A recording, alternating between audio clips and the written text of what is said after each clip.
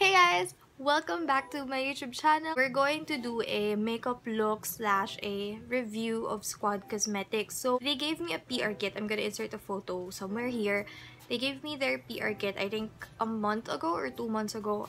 Hindi ako nakakapag-film, guys. As in, lot of things were happening sa akin the past few months before nag-ed yung 2019, it was just really, really heavy for me. Pahinga ako, but now, ayan, as you can see, sobrang natutuwa ako sa nagawa natin ng makeup look. Squad is a new makeup, it's a new player in the game, and they really did step up when it comes to quality makeup na affordable. And if you guys want to know how I did this look and my thoughts on their products, plus the prices of each product, then please keep on watching.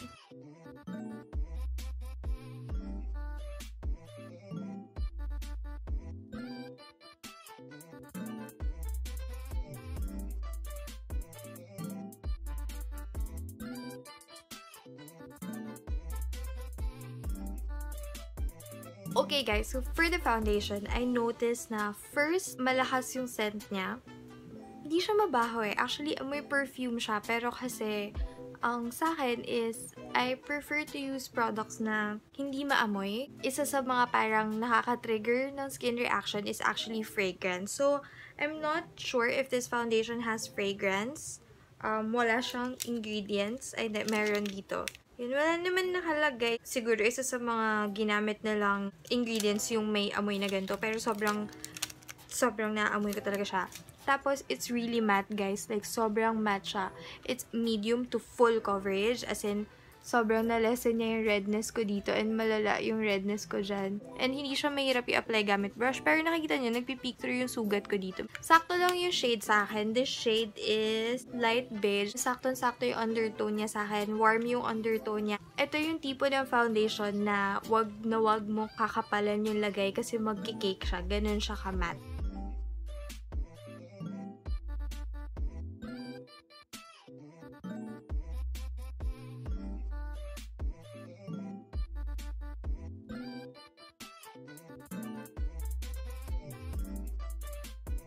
Guys, so ito yung hindi ko pa nagagawa. Ito yung nagawa ko na sobrang gusto ko yung brow product nila kasi ang dali niyang ipang sulat. Ayan makikita niyo isang ganyan. ba? Diba? Ang dali rin niya i-blend. Sobrang dali niya i-blend. Siguro for this shade, ang gamit ko kasi is dark brown. Mapapansin mo sa kanya na medyo may reddish tone siya. So, hindi siya purely brown. Yun lang actually yung ayaw ko dito. But aside from that, sobrang gusto ko tong brow product nila. And actually, favorite ko tong kinocombine sa mascara nila. So, what I'm gonna do is, I'm just gonna brush up ng mascara nila.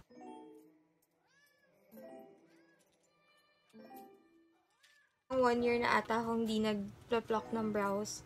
So, ganyan lang yung ginagawa ko para pati mga brow hair dito, hindi masagwa tignan. Tapos yung dito, kinakalat ko lang na ganyan. So, ganyan yung ginagawa ko sa brows ko. I'm done with the brows.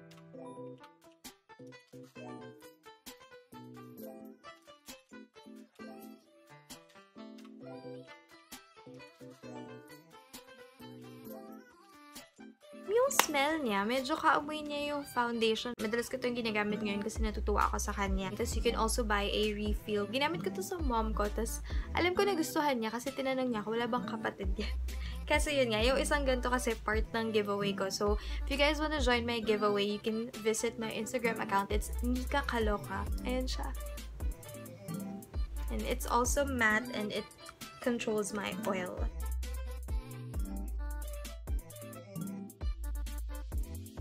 Ever since ginamit ko to guys, tuwan-tuwa ako sa pigmentation niya. Ganda ng color payoff.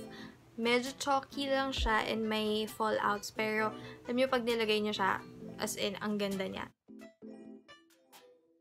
Tingnan nyo naman guys yung pigmentation nito, oh. Grabe.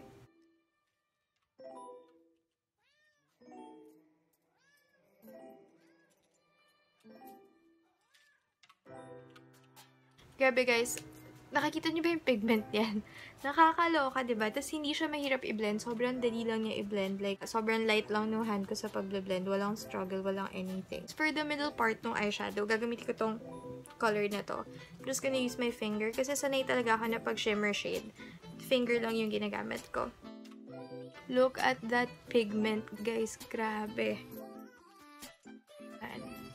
Tapos, yung red shade na ginamit ko, which is this one, iulit ko lang ulit siya. Para lang i-intensify yun dito. Ultimo yung shimmer shade niya. Ang ganda ng pigmentation. Wala talaga akong masabi sa eyeshadow na to. Taran! So, may confession ako guys. They actually have a liquid eyeliner. Naiwan ko kasi yung cap na open. So, hindi na siya ganun ka-okay ilagay. Ayan o. Oh. But, try ko yung eyeliner nila. It's actually nice. It's not that matte. May pagka-shiny pa rin siya. So, for the eyeliner, I'm gonna have to do it off-cam kasi gagamit ako ng ibang brand. Lagay ko na eyeliner ko and then maglalagay tayo ng mascara. Ito rin yung ginamit ko sa kilay ko kanina. So, my thoughts on their mascara is malilengthen niya yung eyelash. Nag-load ako doon. Okay. Malilengthen niya yung eyelashes mo pero hindi niya mapapakapal. So, if manipis yung lashes mo and gusto mo ng volume um, lashes, hindi ito yung mascara for you, pero if makapal naman na yung lashes mo and gusto mo lang ng extra length, then this mascara is for you. Since medyo bongga yung nagawa nating eyeshadow, guys, um, maglalagay lang ako ng falsies off-cam ulit. Dagdagan ko lang yung dito ng mata ko.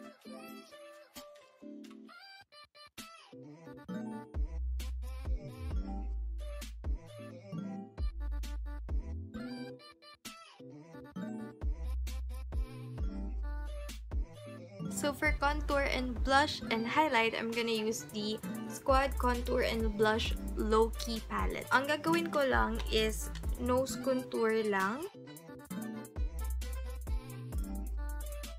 Pansin nyo guys, medyo mapula siya.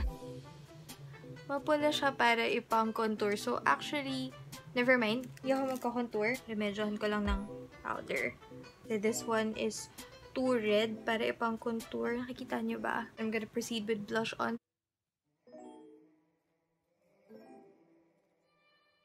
Love ko yung both blush on nila.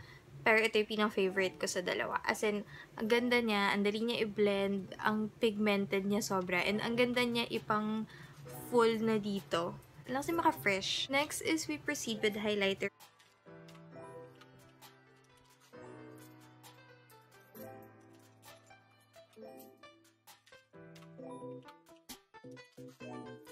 Gusto ko yung highlighter niya kasi siya yung highlighter na, alam niyo, parang basa lang. Yung ang, ang kinis lang, ang hydrated, ang moisturized lang ng skin. Yung basa lang. Ganun yung pagkaka-highlighter niya. Kaya, sobrang love ko yung highlighter nila. Medyo dry kasi yung lips ko. So, sakto na yung lipstick nila is very, very creamy. As in, kahit si Ray Hermar, sobrang ni-rave niya kung gano'n ka-creamy yung lipstick nila. Isang swipe pa lang yan, guys. Ang ganda! This is in the shade Vigorous. Ang ganda, guys! Paper packaging siya, guys. And ang liit lang niya. If may night out ka, pwede, pwede mo siya isiksik sa bag mo kasi kasyang-kasya siya. Tapos yung full face squad natin. By the way, guys, if hindi kayo mahilig sa lipstick, may tint din yung squad na I think it's 75 pesos lang. And maganda rin yung tint nila. This is the final look, guys overall, I think Squad is a brand that you must try, lalo na sa mga naghahanap ng tipid na makeup pero sulit yung quality. My top 3 na squad makeup. Top 3 ko sa kanila is yung mascara kasi ang ganda niya gamitin kahit sa eyebrows lang. Parang naka brush up yung eyebrows mo. So, ang ganda niya tignan for natural look.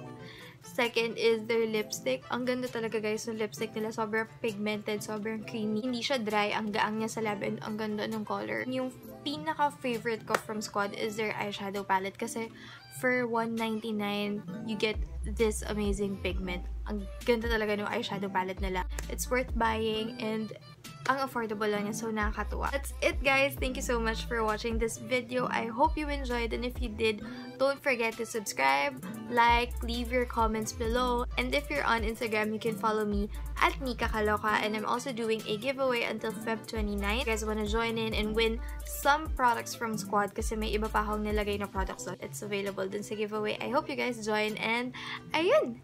Thank you so much guys for watching!